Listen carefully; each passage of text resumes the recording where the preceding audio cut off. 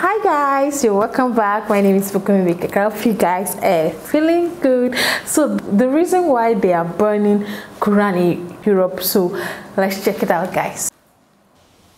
As a citizen of the European Union I feel ashamed and embarrassed. It seems clear that our deceitful leaders and our Christian nationalist governments are shamelessly oh. fooling the world. Yes, very cunningly, Western colonial criminal states present a fake and shiny inclusive image to the world, but deep down, they are rotten to the core. Hindus, Jews, Muslims, the Sami people, the Roma people, how they have been treated and how they are still being treated in Europe should not and cannot mm. remain hidden anymore. As reported by Deutsche Welle, Sweden has allowed another Quran burning to go ahead. yes, the same Sweden that beats its chest day and night pretending to be a liberal and inclusive country. As reported by the BBC, a Quran was burned during a protest in Sweden, and the Quran burning on Wednesday took place as Muslims around the world celebrated the first day of Eid al-Adha, one of the most important festivals in the Muslim calendar.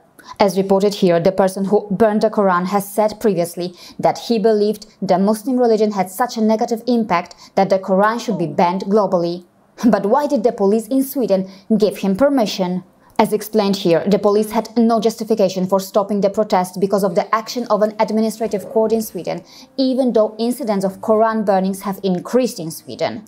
Yes, you heard that right. The go-ahead was given by a Swedish mm. court. Shocking, isn't it? And what was perhaps even more shocking was to read this. Sweden's Prime Minister Ulf Kristersson said the Quran burning was legal but not appropriate. This shocking act in Sweden led to protests by many Muslims and several Islamic nations around the world. Now here the question is if India should also come forward to officially criticize Sweden for this. After all, this tiny hypocritical colonial criminal state that is sitting on land stolen or taken over from the Sami people loves to act as a global role model. Here, just a couple of sharp remarks from Jaishankar should do the job. Of course, on this occasion, the man who did this is a person identified as Salwan Momika of Iraqi origin. But here it is also important to point out that this was not the first time that an incident like this has taken place in Sweden. Back in January 2023, Professor Farid Hafez wrote that far-right leader Rasmus Paludan is a serial Quran burner. In 2019, he staged public burnings of the Muslim holy book in several locations across Sweden, sparking riots in several cities, with dozens of arrests, injuries and damage to property. In relation to the vicious act of burning the Muslim holy scriptures, he wrote, Sweden's political context is different now. The ruling coalition depends on the support of a highly xenophobic anti-Muslim far-right party with roots in Nazism. According to Professor Hafez, book burnings have a long history in Europe. The burnings are usually public and highly symbolic, for books are always more than just carriers of writing. When enemies of the people are not available in person, book burning thus becomes symbolic murder or symbolic destruction. He adds, there is also a specific and storied history of Quran burnings. In recent years, key provocateurs have come from the far right, like Paludan, or from US Christian fundamentalist circles, like the evangelical pastor Terry Jones back in 2010. The professor explains that the far-right leader Rasmus Paludan was given permission by the Swedish police to hold anti-Muslim stunts in several cities in Sweden during Ramadan in 2022, where which he publicly burned copies of the Quran and called for the expulsion of Muslims. According to Professor Hafez, Ebba Busch, who is the Deputy Prime Minister of Sweden and the leader of the Christian Democratic Party, even called for police to shoot more Islamists following violent counter-demonstrations to Paludan's Quran burnings. Yes, you heard that right, the Deputy Prime Minister of Sweden. But hatred or discrimination against non-Christians and non-whites is the way of life in Europe.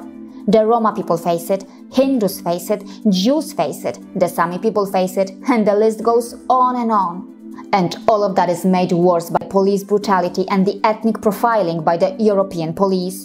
In Europe, even peaceful protesters can face extreme police brutality, something that I have explained in this video.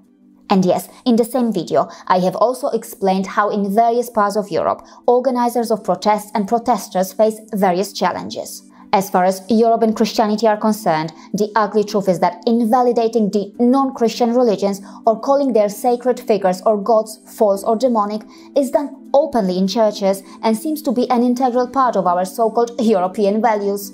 So yes, right from the very beginning of one's life, a supremacist attitude and the idea that non-Christians are inferior are planted in one's mind.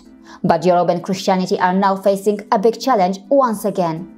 Of course, this is exactly what is expected to happen when two religions seeking global conquest, expansionism and exclusivity meet each other. Chai, this is heartbreaking. I think it's still the same man I saw on YouTube. It's really heartbreaking. No matter what, this, this I don't even know what to say. I'm just speechless. Like lives are involved. Just imagine you burning the Quran properties, all in the name of you not agreeing agreeing to their doctrine because of your disagreeing to the book. Why? It's so painful, guys. It's so painful. I'm just short of words because this is heartbreaking. It's really, really heartbreaking. I don't, me, I don't really see the joy in it, even though, um, to me, they shouldn't have taken the decision, no matter the reasons might be, because it's an holy book. Well, it is well. Thank you so much for watching, guys. I'll see you in the next one.